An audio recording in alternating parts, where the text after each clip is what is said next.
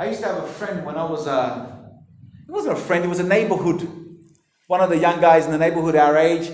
And I, he used to blink a lot like this, like repeated blinking, like more than normal, you know? And I just said it to him. I said, man, you, you blink a lot. And I wasn't trying to put him down or nothing. I was like, you blink a lot, you know? Every time I see you, you're doing that, you know, a lot. And he goes, really? No one told him that he was blinking a lot. I'm telling you, I saw it with my own eyes from week to week to month to month because he's in the neighborhood. We're all hanging out the same park. We had a gibui. I would see him less and less blinking so much, and by the end of it, he was just blinking normal because someone told him. So he thought, I want to do something about that. It wasn't a put down. He wasn't teasing, haha, you blink a lot or something. He's like, you blink a lot. I was like, yeah, you actually blink a lot. so, in the same way, I want to read you a scripture in Proverbs. It says this Do not correct a scoffer. Listen to that. A person that mocks, is too proud. Lest he hate you, rebuke a wise man, and he will love you. Are you a wise man? or a wise woman. You understand what that means? Not just correct them, just listen to how he said it. Correct a scoffer, and he will hate you. Don't sorry, don't correct a scoffer. Correct. He uses the word correct a scoffer. Let's he hate you. Rebuke a wise man. That's even harsher. Hey, stop that. And you're like, he, he will love you. So I want to aim in my life to be a wise man why? Because I'm always willing to learn, to be corrected. Now, absolutely, there's people that will try to correct you and tell you off about something about you, and it's not because they love you or care about you. Okay? So I'm not saying that everyone that brings up some fault in you is doing it from God's heart. Sometimes they just want to pick on you uh, for whatever the evil reason of their own heart and needing to change in their attitude. But sometimes it is right what they're doing. It is of God, it is the right heart. But there's the other side of things is receiving that correction in the right heart. Because the person can say it the right way, the right place, the right heart from God at the right time. Because you can say the right thing at the wrong time. But you say the right thing at the right time with the right heart, and that person still doesn't accept it and will say you're judgmental, you don't, you know, whatever. They'll call you different names. Why? because they will not receive it. They're not ready to receive any correction. Why? Because they are a scoffer. They are a proud person at that moment. It might be they're not a proud person always. At that time in their life, at that moment, they're just proud. So, so don't always think that, ah, oh, man, the way they reacted so badly when I said it to them, I shouldn't have said it. Maybe it wasn't of God. Maybe it was, and they just received it wrong. But then there's the other side. Maybe you shouldn't have. You understand? maybe you said it wrong. Maybe you saw something, but you never were meant to say it. What were you meant to do? Maybe meant to pray for them in your secret place. In other words, don't go up there going, I want to pray for your bad attitude. no, that won't work either. I'm saying, huh? You pray. And there's a peace that comes with what you're going to do.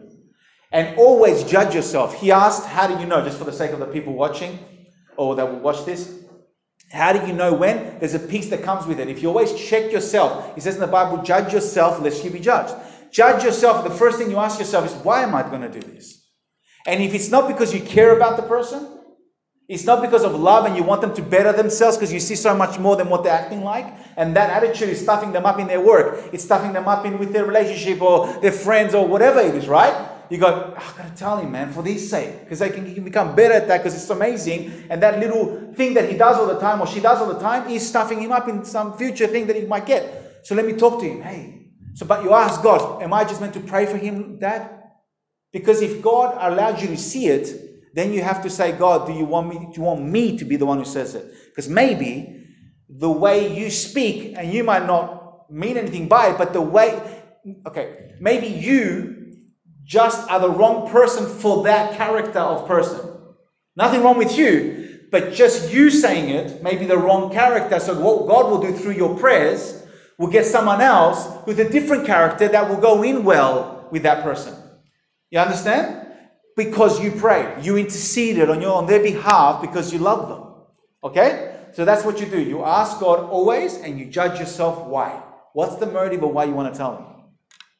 We've had too many people in, in my life experience, so many people I've seen stuff up things because they got this critical spirit. They, they got, I won't say spirit, they got this critical attitude where they just fault find. They want to find faults with everything and everyone. And it works because don't worry, mate, you spend some time with anybody, you will find some faults if you're looking for it. Because everyone's got faults. We're all getting there. So, but if you're looking for it, oh, you'll find it. The whole painting could be amazing. There could be a painting you're looking at and it's beautiful, and that negative fault finding person will look at it and go, Yeah, but it's too much pink. He will look and, and comment on the negative instead of going, It's beautiful. You know, be bright with the pink, but it's beautiful. Yeah, very different the way you're looking at it. You get me? So just Search, let God search your heart and judge yourself also and be honest. Why are you going to do what you're going to do? Why are you going to say what you're going to say? I've stuffed up many times and said, especially in the beginning when I became a Christian, when I saw something wrong with somebody, especially, I won't say it like this. When I started wanting to be really serious, walking holy with God, changed. I thought everybody must change in the same way, and that means I must make sure that they do. And, and when I told them, oh, hey, you got to stop being like that, man, and you, you got to stop it, and it was wrong. I was going overboard and hurting people because I wasn't giving them the grace and mercy and the timing God wanted to give, just like He gave me. And not one time did God ever trick me that way. And I'm not saying you won't harshly tell someone, tell someone enough you got to stop being like that, man. Enough. I've seen you over and over, and I've told you, stop being like that. People have told you, and you're still hurting people. You can't keep doing that. There could be a time where you're harsh, speaking harsh and strong because it is of God to do it. So I'm never telling you that it's always going to sound like this. Oh, brother, you must change it a little bit. It's not always like that. It's sometimes it's stern, sometimes it's gentle, sometimes it's whatever. Just make sure you check yourself so it's not coming out from your attitude to them, but it's literally filtered out of God's heart and love towards them. Remember, when I say God's love, do not make the mistake of thinking God's love means you speak like this. Because Jesus is love, correct? Did he always speak like this? Do you think when he was saying, you bunch of devils, you're saying, you bunch of devils? devils, boy. Was he doing that, you think? You whitewash tombs full of dead man's bones. Do you think he was talking like that? No. But he was love. When he said it, it's full of love because he is love. So I'm saying, don't think when I say love that there's this fluffiness about it. Love corrects, love protects. But be careful that you don't do things out of God, uh, outside of what God is wanting you to do, personally. And, and one more thing that keeps coming to my head right now is Remember this the Holy Spirit is the Holy Spirit, not you. He convicts of sin. That's what he says. When he comes, he will convict the world of sin and of judgment. And it continues on and on and on. We sometimes make the mistake of trying to convict people. You can say something, but then you're expecting you change. I'm watching you to change. What are you, there, God? If you're meant to be the messenger, be the messenger. That's it. Then don't look at them in judgment, thinking that if I haven't changed quick enough after you said it, you must look at them in judgment. Because we do that too. You've got to be careful. If you're just a messenger, you're just a messenger. Most of the time, we're not meant to be the messenger. I'll go to this back so I can stay on track. Sometimes you see the fault because God wants you to just pray in private time for them in love to God so they may change. Sometimes you are to tell them, but at the God ordained time. I wrote some saying the truth can have two different responses from people. I wrote Peter and Paul, example, and actually Stephen as well. I'll give you an example of what I'm saying right now. In chapter 2 of Acts, Peter preaches about Jesus. And then when he says, when they heard this, they were convicted in their hearts. And their response was now listen, Peter is speaking the truth from God's heart at that moment. They heard that the listeners, the receiving people, are listening and they decided to respond like this What shall I do? They wanted, they, they, there was humility in their hearts to receive the message and ask, What do we do? with what you just said. Now, what, what I want this. What do I do? Repent, every one of you, and get baptized for the remission of your sins. And then you're going to receive the gift, the Holy Spirit, and he talks like that. Then you read more in the book of Acts. You keep going, and you see Paul, uh, before Paul, Stephen gets stoned to death. It's very famous that Stephen gets stoned to death. He's preaching, doing miracles, amazing miracles. He gets put in, a, in a, like a court to be judged by the priest and all this kind of stuff. And he says, when they looked at him, he looked like an angel to look at. And he starts speaking to them. If you read what Stephen was saying, there's nothing angelic about what he was saying. It is full on harsh, man. It's harsh. He's literally telling them off from God's heart, God's love coming out. But so much truth. It's like, bah, bah, bah. You're like, oh. What did they do to Stephen after they heard this? Did they go, whoa? It was all from God, all from God's heart, what he said. When they, he finished speaking, what did they do to Philip? We know in the Bible. They grabbed him to stone him. What was the problem? Was it Philip? No, it was the receivers. Receiving message again now to help them change. And they didn't like what they heard, so what do we do? Let's kill the messenger. Same with Paul. Later, again, in the book of Acts, you know, Paul converts, becomes a Christian. He starts preaching like crazy, mate. Bold warrior, that guy. And what happens? They says the same wording. And when they heard these sayings from Paul, he says they were convicted in their hearts, so they took him to stone him. They literally stoned him and left him for dead and he gets back up from the dead. We don't know if he actually died. Some say he actually died. Some say that he was just so lifeless they thought he died and walked off, but he was actually, he got back up. What's the point? The receivers were the problem. The re- people receiving the message didn't like what they heard, so let's stone them. So you got to be careful when you're getting uh, corrected. Learn to receive. Okay, learn to check your heart. Don't go in defense mode because you might miss something because God loves you and He prunes us, rebukes us, and when He rebukes us, it might not be a voice. He says He rebukes and chastises those children that He loves. If you're not chastised and rebuked, then you're not treated like a bastard. It literally says that in the King James. Like a bastard, in other words, a person that doesn't have a father. So every father who loves their child will rebuke and chastise them. So God will chastise and rebuke us sometimes. You are not going to hear a voice from heaven going, You should got to stop doing this. Maybe because we hardened our hearts or we've been so uh, played by the enemy, hardened our hearts and started having this bad attitude which we didn't even consider. And in some friend or some brother or some sister, God will bring and say, Listen, man, I've just been feeling like you've been a bit like this. You got to stop that. And God is chastising us, chastising us as a mess through a, a messenger, another brother, another sister. Learn to receive. But sometimes it's just people that want to put you down. You know, those who are told you fault, fault find, also, most of the time, there's two different ones. One's just full of pride, and they think they're so highly more holy and righteous, they put people down. You've got to be more like this, and you've got to be like that, you've got to be like this, mate. Get off your pedestal, mate. Or they are doing the same thing to themselves secretly. They fault find against themselves. They're always hard on themselves. They always put themselves down. So what do they do? They'll put you down too. They'll fault find on you too because they're so harsh on themselves. I feel very sorry for those ones. Very sorry.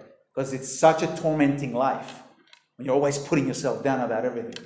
So you're so grumpy at yourself because you're always finding something wrong with you agreeing with the devil, what are you doing? You're looking at everybody, also finding something wrong with everybody else.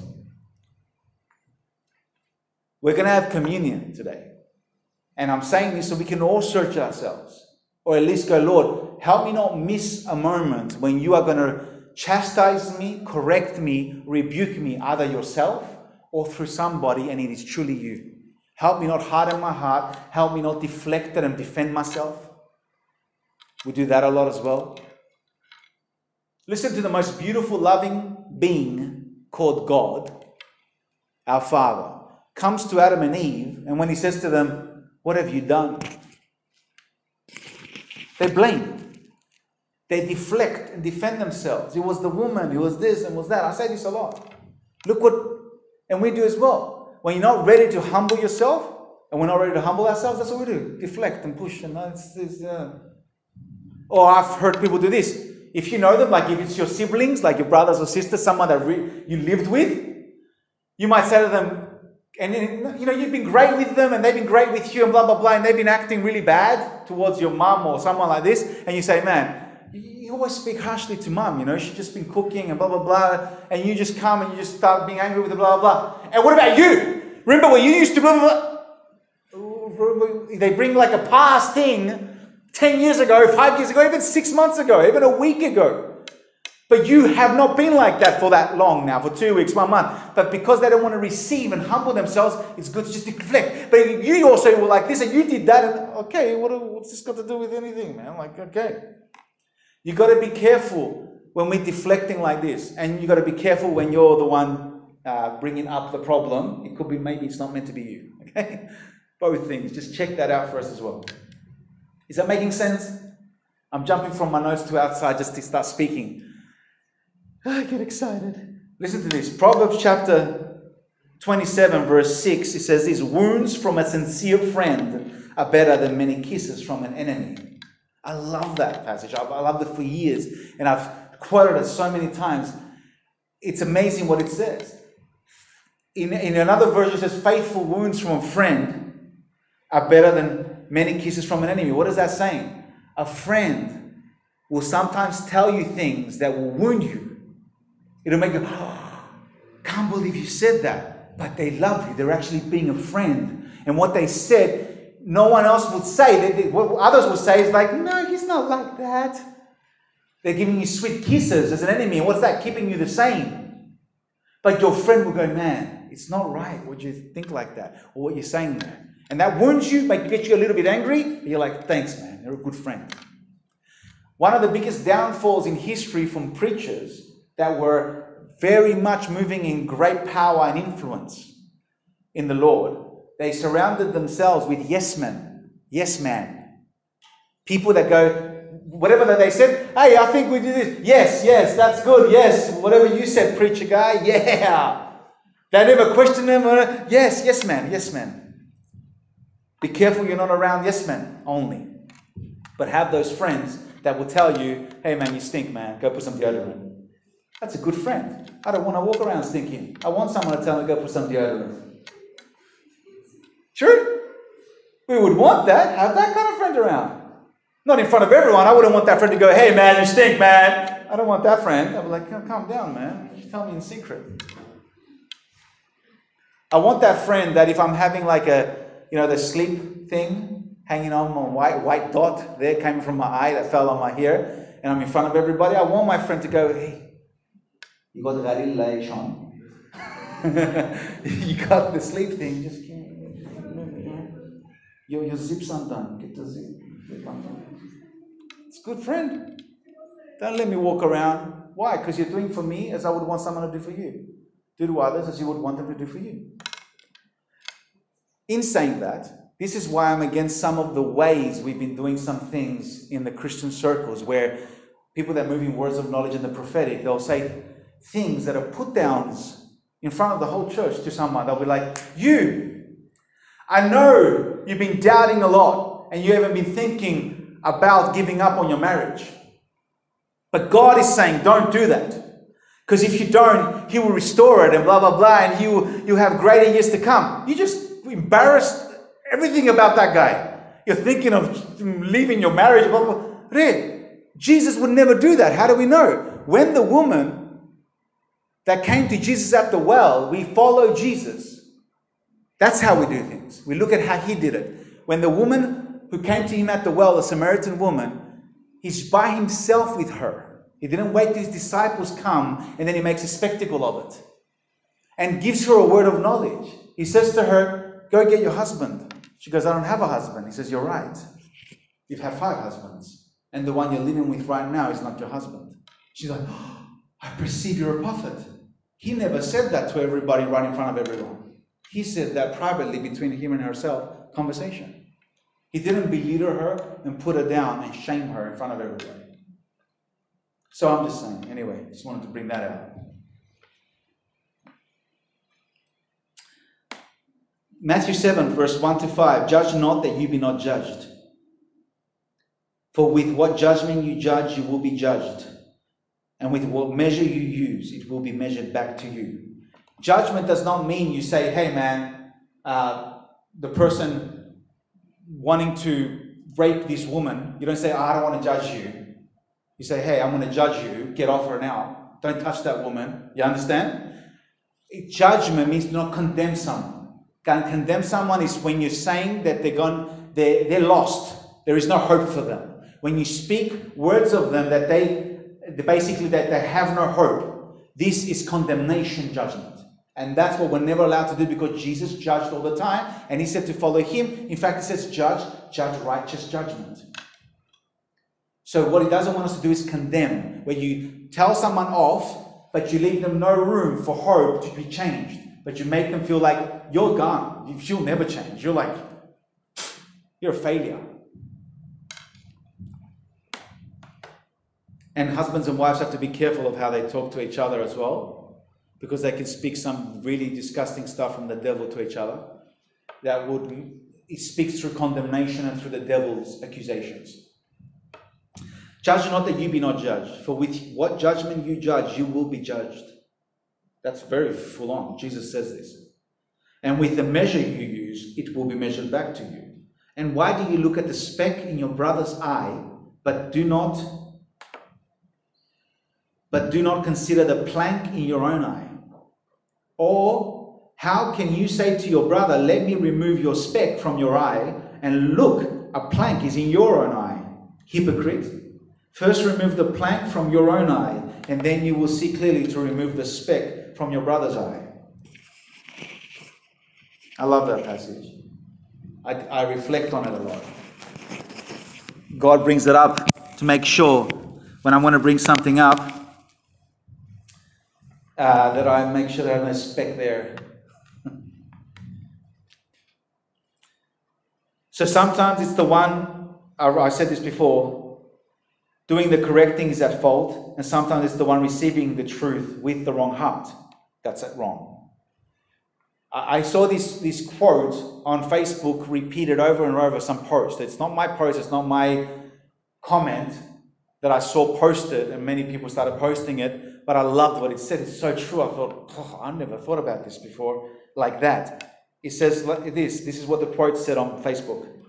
Judas had the best pastor, the disciple, Jesus' disciple, Judas, had the best pastor, Jesus, the best leader, Jesus, the best teacher, Jesus, the best mentor, Jesus, the best advisor, Jesus, the best counselor, Jesus, Yet he still did what was wrong. Didn't he? So it's not the problem with the pastor or the church sometimes. Sometimes it is, sometimes it isn't. Sometimes it's the person that needs to change.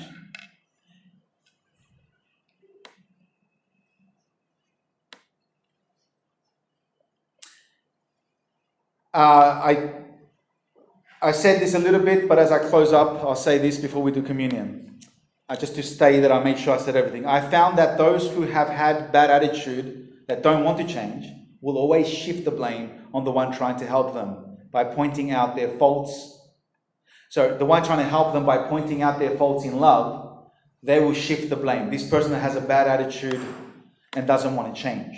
Not just a bad attitude, they don't want to change. They're always going to shift the blame to something else, to you, on you, on someone else, on saying you're judgmental, you're being judgmental. I felt so judged by them. Why? Because they went, let's say, so many times I've seen Christians and I see the quotes ah, on the Facebooks and stuff years ago and stuff as well, where this sleep there living together as boyfriend, girlfriend, unmarried, Christians, and they've been Christians for years. We're not talking about just a boyfriend, girlfriend that just came to Jesus and they're learning how to transition to Christianity, no problem. You give mercy, you give grace and patience. But Christians that want to live with each other to test things out before they get married, And the pastor telling them, listen, uh, you know, you're, you shouldn't be living together with your boyfriend and blah, blah, blah. If you're not married, you know, this is years after. Oh, I felt so judged. I felt so judged by that church, by that pastor. Da, da, da. Who was wrong there? You understand? So, and many times they'll go and they've come, you know, to me. Oh, I went to this church or whatever, and they were just so judgmental, and I just felt like not loved and appreciated. Not loved and appreciated there, or welcomed or accepted, meant this: you got to accept me and not tell me anything about my sin. I want to keep my sin. It's my problem. That is not love. Because if you die in your sin, you're going to go to hell. How can I just, okay, why? Because I want to just make sure everyone's happy and stays in the church. If we want, uh, we want to be a people that in love, we want to help the people come to the ways of the Lord. It's not people say, Come, Jesus loves you just the way you are. No, He doesn't. He loves you, but He wants to change the way you are if it doesn't align up with Jesus' ways. That's true. Not what they say. That quote that's famous.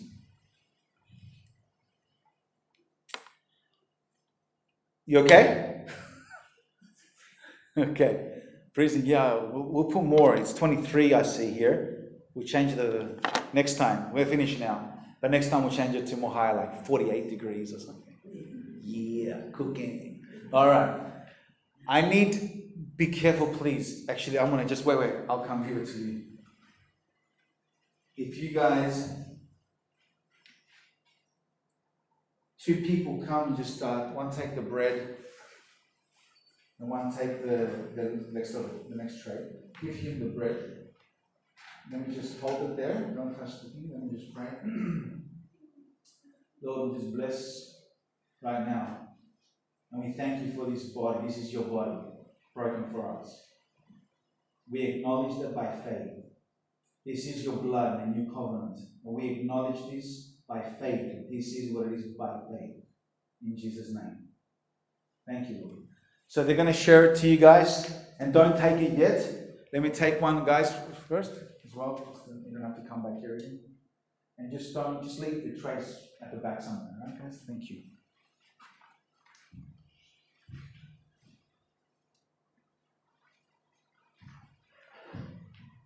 While we wait for the communion to come to you, don't take it, just hold on to it. You got any questions, guys? Or anything about the topic? Don't change the topic.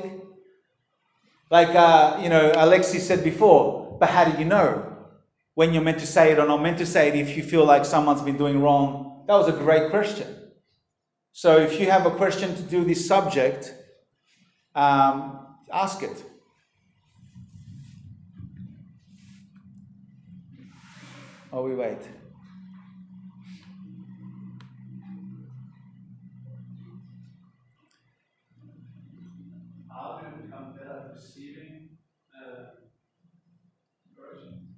That's a good question as well. So Casper said, "How do you? How do we become better at receiving the correction?" Uh, I, I, I can answer that immediately, but I just want to open it up. How do you think it is? Yeah. Wait, wait, uh, yeah? Yeah, good, good, good point. Yes, yes. I was just going to give a straight answer, but this is great uh, process. She said, uh, "How do you?" So the question was, "How do you become better receiving the correction?" And she said, "Maybe it's taking more time uh, before you answer, before you respond to someone's correction." Actually think about it. I'll be honest with you something. Uh, there's times where I was corrected by somebody, it doesn't matter who it is. And I, have been corrected by uh, or spoken into my life by young people to older people. They'll say something, I went, oh, yeah, you know, those. And sometimes I didn't even know they're correcting me. But there was times where I was corrected, but um, at that moment, I wasn't receiving it. But within that hour, or that day I received it. I humbled myself by the night time. you know, so I will say this to you if your response was bad out of defense, you, sometimes uh, you just kind of reacted, responded quick, and it was too late because it was in a you were in a bad mood that moment. You don't want to hear it. You already were, you know, having a bad day or something. It happens. But kind of consider before you go to bed. Consider, hey, God, you know, Johnny said that, or whoever said this to me. Is there any truth in that? I've been told. I've been my wrong god told me this quote one time this this statement to me he said you can be so right you're wrong he said to me and i'll never forget that because with that he gave me the explanation that you could be right in what you're seeing but your heart is wrong when you're going to say it you're not doing it because of love so in the same way uh, receiving it i could be they could have said it wrong and i was right that when they said what they said they said it wrong but what they said was true. So I, no matter what, just in case, they could be wrong, their correction to me, but they could be right. They just said it wrong. So no matter what, I always take it to God and say, was it true though, Lord? Did I? Do I, am I like that? And I forgive that person for saying it the wrong way. In fact, a guy, when I was first became a Christian, it was like a year into it, I guess. No, maybe less. A guy I go outside to have a cigarette. I'm addicted to cigarettes. I just smoke 50 cigarettes a day, if I, especially if I was DJing. Just smoking and smoking. I was addicted. So we're having Bible group, and I'll go, sorry guys, I'm just going to go outside. That means I'm going to go have a cigarette. I got used to it. And one day, this guy that speak, speaks so harshly, he's, he's very, I'm, I'm cool with people that are straight out. But he said he will speak with a put down way. And I hated just even sitting to talk to him because he might say something that goes, oh, I'm going to punch you because I'm just six months in the Lord and I'm going to still punch you. And he says to me, you know, God hates that you're smoking, you know. And the way he said it, I wanted to beat him up so badly because I was already beating up myself, feeling like, man, I'm a failure. I'm not doing anything right. I'm trying to change because I was really harsh on myself to try to get changed. But what he said was true. And so that time I wouldn't take it. But the point is, don't dismiss the word that's come out. Maybe the messenger was wrong, wrong timing, wrong everything. But what they said maybe was right. And you can say, God, I am smoking. Help me change. Help me not make excuses for the smoking. And uh, I want to give it up, God. Because it's I'm your temple and I don't want to be having something that's killing me before my time or damaging my organs or whatever. You know, I don't know. You understand? So it doesn't change the word that was true. Okay? So now take a moment, guys, and consider the word we just heard. And if, if even the Holy Spirit brings up a correction that you got corrected with by somebody even a month ago, man, a year ago, He'll do things like this, where He gives you a flashback of something and that was of God. That was God's correction, but it was the wrong method, the way He did it, although you received it wrong.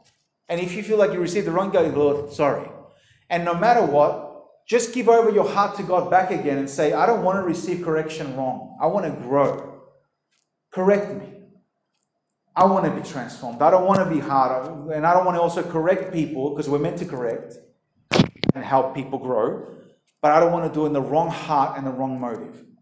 I want to know between the two and when I'm meant to and I'm not. Just give him all that back to him, okay? Because we don't want to stuff. We don't want to be the stumbling block to our brothers and sisters' growth, all right?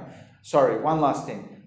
In saying that, that has happened where we stumbled the growth of the person's speed of how fast they were going in their growing up in the Lord because we said something before it's season, before it's time for them to change. And that to them, that's like God speaking. Because if you say God hates smoking, that hardens your heart because you think, oh, you hate me even doing, I'm trying to stop. You know, you get, you get angry with God, not that person. So you got to be careful um, because this can be really strong what we end up doing to somebody, okay, in their growth. So be careful, okay? So just take a moment and then we'll take communion together. God will also show some of you times where you were corrected in love by somebody that cared about you and they only did it because they cared about you and it was God's timing, but you were not ready to receive that. Not because you weren't ready, because you were too hardened in your heart to receive it. And the way you spoke back at that person hurt them. Because it made them feel like they did wrong, but they didn't. And maybe God will show you someone like this in your life and was in your life that you'll need to call and say, I'm sorry. That day when you said these words to me, I took them wrong and I reacted wrong against you, to you, and I haven't spoken to you maybe even for a while. And I'm so sorry. It was my pride. I wasn't in a good place and I just, you did the right thing at the right time and I was wrong. And it's beautiful to do this, okay? If that comes up by the Lord for you.